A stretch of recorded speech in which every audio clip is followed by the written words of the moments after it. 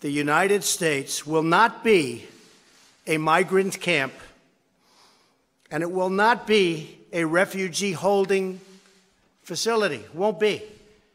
You look at what's happening in Europe, you look at what's happening in other places. We can't allow that to happen to the United States, not on my watch.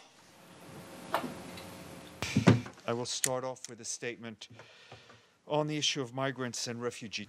As a matter of principle, the Secretary General believes that refugee and migrants should always be treated with dignity and with respect and in accordance with existing international laws. Children must not be traumatized by being separated from their parents. Family unity must be preserved.